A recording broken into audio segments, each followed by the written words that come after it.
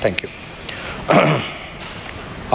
ගරු මුලාසනාරූඩ මන්ත්‍රීතුමනි අද මේ ලෝක ඉතිහාසය දිහා බලනකොට විශේෂම විසිෙක්වෙන් සියවස දිහා බලනකොට මෙතෙක් කාලයක් දෙවන ලෝක යුද්ධෙන් පස්සේ මේ ලෝකයේ තිබිච්ච සාමකාමී වටපිටාව වෙනස් වෙලා යුද ගැටුම් සහිත නව සාමාන්‍ය තත්ත්වයක් ලෝකයේ තුරා ගොඩනැගමින් තිබෙනවා.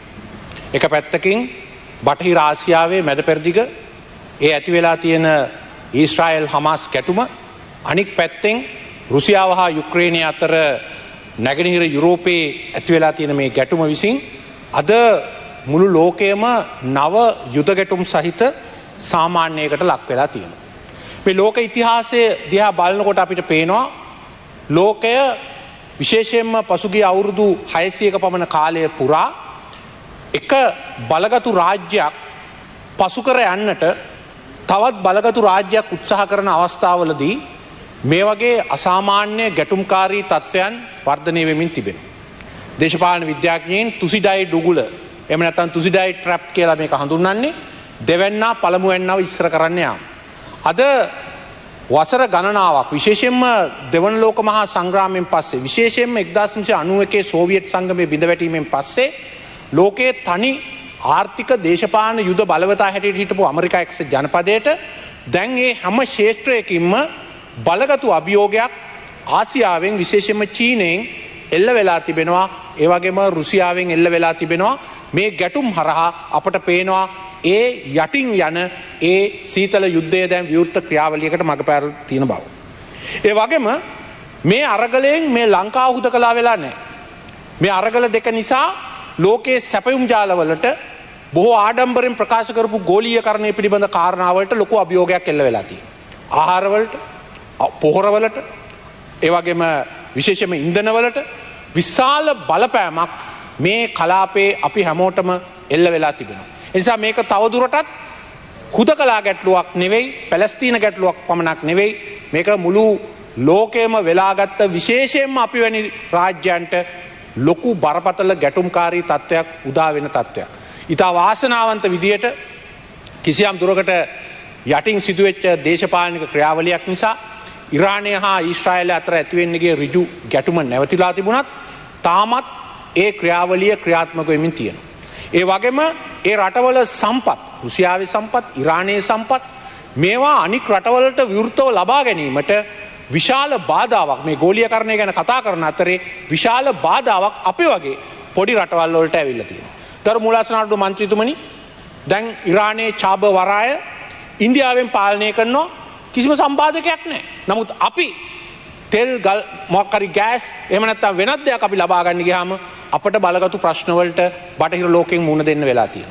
නිසා බලගතු ජාතීන්ට තමන්ට රුසි විදියට හැසිරෙන් ඉඩ ලැබිල තියෙනවා අපි වැනි කුඩා ජාතීන්ට මේ ගැටුමෙන් විශාල පීඩාවන් වලට ලක්වෙන්න වෙලා තියෙනවා.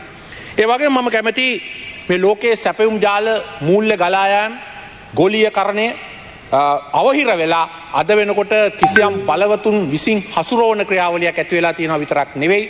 ලෝකයේ ඇතිකරගෙන තිබිච්ච අන්තර්ජාතික ආයතන එක්සත් ජාතින්ගේ සංවිධානය ඒවගේම ආරක්ෂක මණ්ඩලය ඒවගේම ජාත්‍යන්තර අධිකරන වගේ දේවල් මහ විහිළුවක් බවට පත්වෙලා තියෙනවා මොකද අපිට බොහොම පැහැදිලිව පේනවා මේ සිදුවෙච්ච සිදුවීම් ජාලේ මේ සිදුවෙච්ච ඝාතන ජාලේ මේ සිදුවෙච්ච අනාතවීම ඉදිරියේ මේ ආයතන ඉතාම අක්‍රිය විදිහට කටයුතු කරපු බව.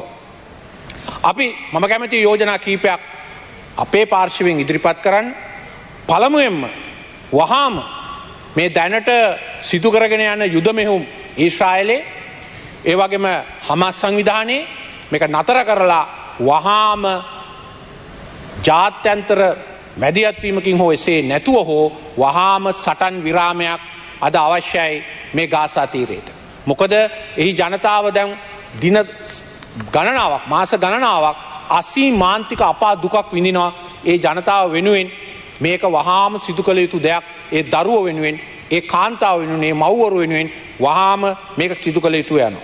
ඒ වගේම මේ ප්‍රාණ අපකරුවන් හැටිට හමස් සංවිධානය තියාගෙන ඉන්න අයත් ඒවගේම ඊස්ට්‍රායිලය විසින් අත්තඩංගුවට අරගෙන ඉන්න දසදහස් ගානක් පැලස්තීනෝනුත් ඊළඟ පියවරකදී වහාම නිදහස් කල්ලා නිදහසේ ඔවුන්ට ජීවත්වීමේ අයිතිය තහවුරු කළ යුතු වෙනවා.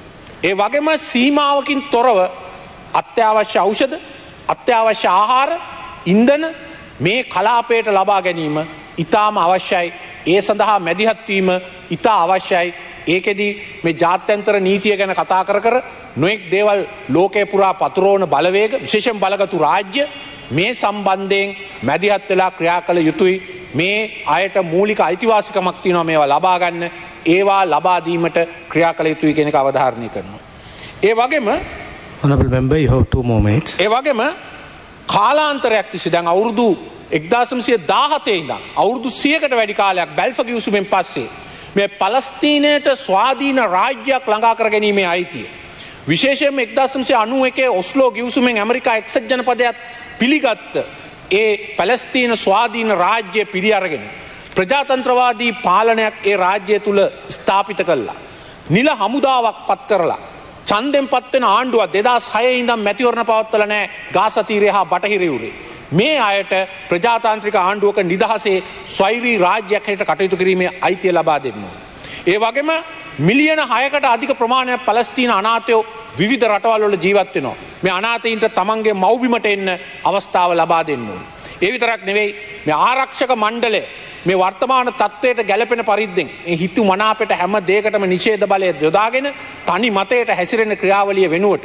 මේ නිශේද බලය මේ රාජ්‍යයන්ගේ අහෝසි කල්ලා ආරක්ෂක මණ්ඩලය වඩා පුළුල් විදියට ප්‍රජාතන්ත්‍රකරණය කිරීමත් එක්සත් ජාතින්ගේ සංවිධානය අපෝසත් වෙලා තියෙනවා ජාත්‍යන්තර අධිකරන අපෝසත් වෙලා තියෙනවා යුක්තිය හා නීතියේ ආධිපත්‍යය පිහිටවන්න ඒ නිසා ඒක සඳහා ප්‍රතිසංවිධානයක් ඇති කරන්න ලෝකයේ අනික් රටවල් එකමුතු වීමේ අවශ්‍යතාවය අපිට පේනවා. ඒ වගේම විශේෂයෙන්ම මානව හිමිකම් සම්බන්ධයෙන් දැන් ලංකාවටත් මානව හිමිකම් චෝදනා එල්ල කරනවා. හැබැයි අපිට පේනවා එම චෝදනා එල්ල කරන රටවල් තවත් රටවල අපිට චෝදනා එල්ල කරනවා වගේ දහස් ගුණයක මානව හිමිකම් කඩවීම් කරගෙන යනවා. ඒ නිසා මේ මානව හිමිකම් පිළිබඳව ස්වාධීන ආයතන මිසක් රාජ්‍යන්ට මැදිහත් වෙලා මානව හිමිකම් තමන්ට රුසි ආකාරයට හැසිරවීමට කටයුතු කිරීම වැලැක්ව යුතු වෙනවා. ඒවගේ ම ස්තුතිවන්ත වෙනවා විදේශ ඇමත්තුමාට මේ පැලස්තීන රාජ්‍ය සම්බන්ධ යෝජනාව ඔවු විසිනුත් ස්තිර කල්ලා ඒකට සමායෝජකෙක් හැට ඉදිරිපත්වීම ගැන නමුත් මේ ඇතිවෙන ජාත්‍යන්තර ගැටුමෙදී